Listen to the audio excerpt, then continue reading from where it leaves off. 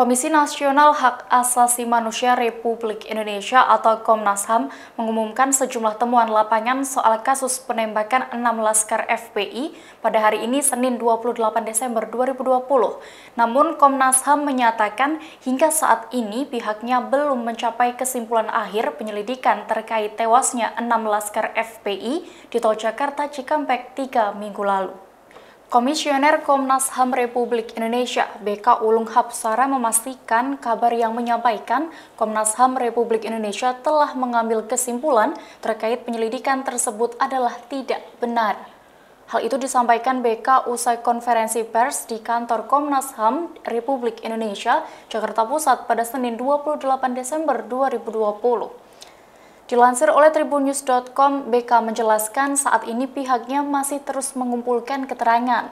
Ia juga mengatakan pihaknya juga masih membuka kemungkinan untuk meminta keterangan tambahan dari pihak-pihak terkait. BK menambahkan hingga saat ini pihaknya telah meminta keterangan terhadap sejumlah pihak di antaranya FPI, Kepolisian, PT Jasa Marga, dan saksi masyarakat. BK menjelaskan sejumlah temuan lapangan yang telah dipaparkan oleh Komnas HAM Republik Indonesia hari ini merupakan keterangan tambahan. Temuan itu di antaranya proyektil, selongsong peluru, bagian mobil, CCTV, dan earphone. yang bisa kita bayangkan. Ini kami lakukan sebelum ada voice note sebelum ada uh, apa informasi dan lain sebagainya di uh, publik. Jadi kami nusurin apa pun yang kita dapat kita dapat. Termasuk mana ya? Yang gede itu mana ya? Ini.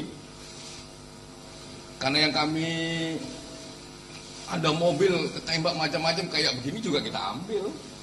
Ini di awal, ini proses-proses banyak proses di sini yang belum tentu nyambung yang memang kita ambil sebelum ada berbagai informasi yang muncul di uh, publik. Nah ini aspek kehati-hatian. Bisa jadi semua barang ini tidak uh, setelah nanti kita uji belum tentu juga nyambung dengan peristiwanya, tapi dipastikan ada sekian barang yang juga nyambung dengan peristiwanya. Nah ini yang membutuhkan uh, uh, informasi lebih uh, lanjut. Nah, uh, penting untuk kami utarakan di sini karena apa? Kami belum pernah ngambil kesimpulan apa pun. Jadi kalau ada yang uh, berita macam-macam yang sudah ngambil kesimpulan dan sebagainya, kami pastikan itu hoax.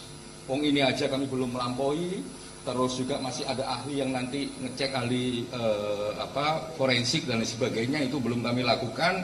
Semoga minggu dalam minggu ini bisa kami lakukan sehingga sesegera mungkin kami mendapatkan uh, apa informasi uh, lebih baik gitu ya Demikian Tribun News Update kali ini nantikan informasi terbaru lainnya hanya di channel YouTube tribunnews.com. Terima kasih sudah nonton. Jangan lupa like, subscribe, dan share ya.